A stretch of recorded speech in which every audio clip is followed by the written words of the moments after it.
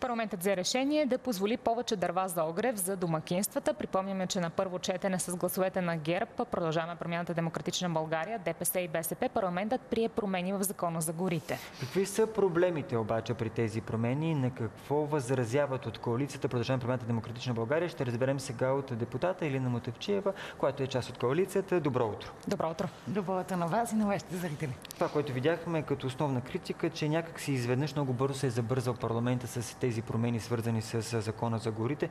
Какво толкова спешно има, че има повод за притеснение и вие сте несъгласни? А, аз като цяло съм несъгласна с това да приемаме закони по бързата писта. Да, парламентите последните няколко парламента са доста бавни а, и, и много важни закони се отлагат във времето, а така бързичко за една седмица да мине през комисия, да мине през зала, да бъде съкратен срока, със сигурност не е начинът по който трябва да се правят закони. И то закони, които са по обществено значими и чувствителни въпроси, каквито са горите. Защото аз смятам, че гората за всеки един българин е важна ценност. И има няколко групи промени в този иначе така кратък текст, които, които променят абсолютно правилата на играта. Едното от тях е по отношение на това да се увеличат за да, за да тръгнем от, от начало, защото не знам дали всички а, са запознати добре, правят едни списъци, в които списъци, когато влезе едно домакинство, то получава дърва за огрев на преференциални цени. В момента тези кубици са 10 пространствени кубика, а увеличението е на 15 плътни кубика. И сега хората казват, само 5 кубика, толкова ли е голяма, само че това са различни мерни единици.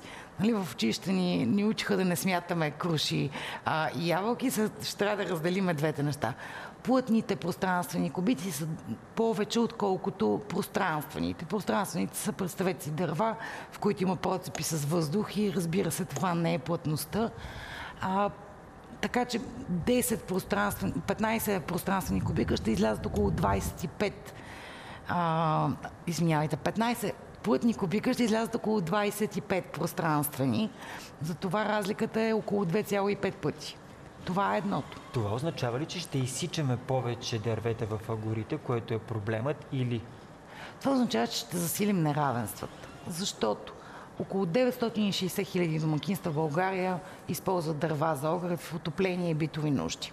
От тях около 20% влизат в тези списъци. Тук въпросът, който ще дойде е как влиза, какъв е критерия да влезе човек в този списък. Няма такъв критерий. Как тези списъци, няма критерии? Тези списъци се подготвят от а, кметовете по места. Кметовете на общините изготвят този списък без да е ясно този човек има ли нужда, няма ли нужда. Ето тук и въпросът е дали има как да се определи кои са домакинствата, които реално имат нужда да получат а, тези дърва. Точно така. От една страна това е големия проблем. Не може всички да получават, защото цената, разликата в а, тези преференциални цени, които са между 8 лева, ако отидеш ти сами и си ги добиеш, 25 лева, ако си ги вземеш от склада на горското и пазарната цена, която е 100 лева, тя е много голяма. И когато няма ясен критерий и няма ясни правила, кои хора влизат в тези списъци и кои не влизат и защо 20% от хората влизат, пък останалите 80% не влизат, изкривяваме пазара от една страна. От друга страна, как устойчиво управляваме горите си. Това също е въпрос, който остава, остава незададен. Затова аз мисля, че а, с колегите, които предложихме промени, всъщност трябва да променим концепцията. От една страна, дървата за огрев трябва да, ста, да отидат към Министерство на труда и социалната политика, да бъдат социална придобивка, да бъдат на база на доход, на база на, ясни критерии. От друга страна, а, трябва да бъде малко по по-ясен механизма за тези регистри. Защото тези регистри в момента се създават от кметовете. И аз идвам от такъв избирателен район, че много често хората ми казват, да, да, ама ние ако не слушаме кмета или кметския наместник, той няма да ни да, да е дърва за зимата. Това е голям проблем. Тогава, ако не са кметовете, кой да прави тези списъци? Аз съм твърдо убедена, да че може да се направи централно. Ако има ясни правила, по доходен критерий или друг критерий, много лесно тези списъци могат да се изготвят и да се приоритизират хората, които имат истинската нужда. Защото в момента, знаете ли, че а, така наречените къщи за отдих в Родопите, те правят бизнес с получени дърва на преференциални цени. И това не, е, това не е нормално. Фактически да се направи разделението между това дали аз имам необходимост като обикновен гражданин или като било то, ако съм механа или някакво частно дружество, също да получавам на преференция, при положение, че нямам тази необходимост чак толкова. Да, и да спрем да раздаваме на кълпак, да започнем да, да наистина помагаме хората, които имат нужда. Също така да си помислим, ще продължаваме ли да им даваме дърва за огрев, което повярвайте ми, не е най-ефективният начин за, за отопление. Или ще почнем да им даваме ваучери, ще почнем да им санираме къщите, ще почнем да подменяме електроуредите. Тоест, какъв е пътя, който ние ще вървим? И ако искаме да имаме една по-цивилизована, по-малко феодализирана, по-свободна а, България и население в различните общини, може би наистина трябва да преминем към, към това да измислиме начин по енергийно ефективно тези хора да се отопляват. Вижте сега това, което казват от ДПС, че сегашните правила не позволяват на хората, които са в планинските райони, да получават повече дърва, които са им необходими. Така ли е наистина? Спъват ли сегашните правила хората, които са в планинските райони, да получават дървата, които са им необходими? Alpha Research имат от 2020 и 2021 една статистика домакинствата от колко необходимост от дърва имат. А, и всъщност по-малко от 3% от домакинствата не задоволяват собствените си нужди с тези 10 пространствени кубика. Които са с преференциалните цени Които с преференциалните цени в момента са регулирани в закона. А скъсяването в момента на този срок между първо и второ четене, всъщност не позволи а, до голяма степен хората да могат да реагират с становища, да може же бизнеса да се включи, да може да има ма, ясно, яснота от гражданското общество. Но аз вярвам, че в момента в комисия колегите ще разгледат нещата. Има и още един много спорен момент.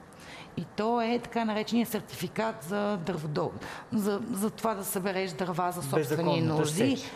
А, не, да събереш дърва за собствени нужди. В момента, за да можеш да влезеш да си събереш тези да специални дърва, трябва да, си, да имаш лицензия, сертификат и да знаеш, че можеш да, да служиш с резалчка. От една страна, махайки този сертификат, има възможност да увеличиме случаите на пострадали хора. Нали? Това, това е неминуемо.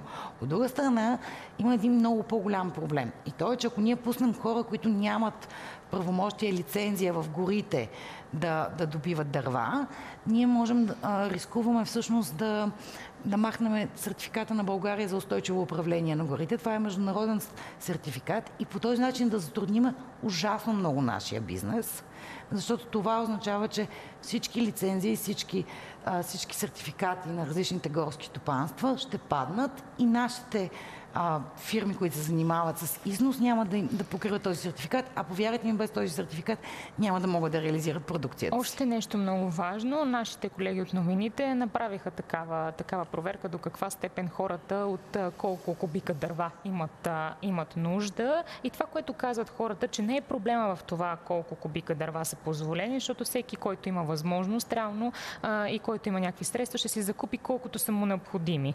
А, съответно, но пък гражданите за тях основният проблем е а, изсичането на горите и това, че се изнася дървесина. Съответно, там може ли да бъде затегнат контрол и в тази посока работи ли се? И, и е нормално да бъде, да бъде проблем за тях, защото ние трябва да започнем да, да имаме връзката в главата си, че изсичайки горите си, ще имаме повече наводнения.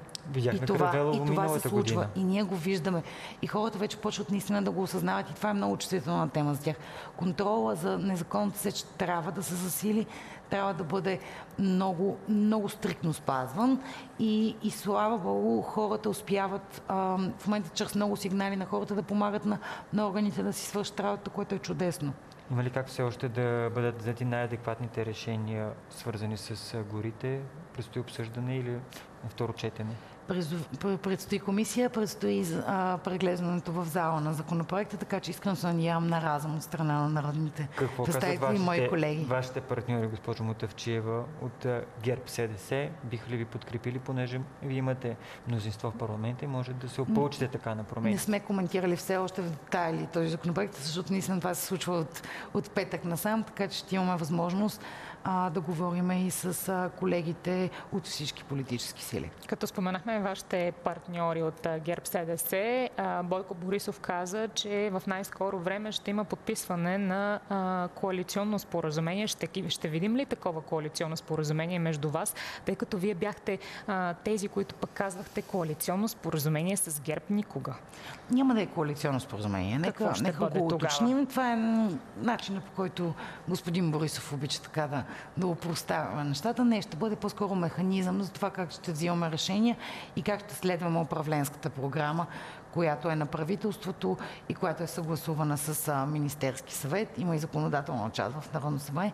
Така че трябва да сме сигурни, че спазваме еднакви правила. Защото няма, ако нямаме ясни правила на играта, е възможно да се случват всякакви неща и ние ги видяхме. Аз мятам, че в момента с колегите от ГЕРБ СДС наистина има воля да подпишем механизъм как ще работим. В момента се изготвя този механизъм, ще бъде разгледан, така че скоро ще бъде и публичен. Финално как са отношенията в коалицията? Виждаме, че покрай бюджета горе-долу имате допирни точки, приемат се, отпускат се допълнителни средства за сектори, които имаха необходимост. Да, и се спазва правилото за 3% дефицит, което е изключително важно за нас. Добре. Добре, благодаря ви много за този разговор.